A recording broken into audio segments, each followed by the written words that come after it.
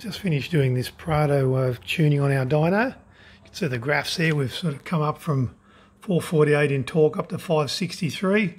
The kilowatts is just about 97 kilowatts now in peak. Come up a little bit with the boost, fine tuning to keep those fuel loadings under control.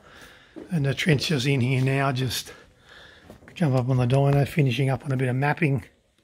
Bit hard to see with the sun there, but you're getting into the 3D maps here and just finishing up the final things and do a few little end runs. And that'll be this Prado D4D 3 litre. Freshly tuned up here at Berrima Diesel. We use a variety of platforms, don't forget. We're not just the uh, remapping shop.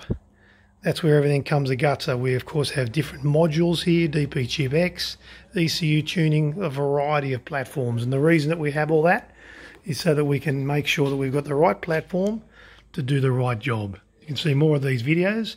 Keep watching our Facebook, YouTube, Instagram, or look at us up at berrimadiesel.com where you can find out more about tuning and looking after your diesel.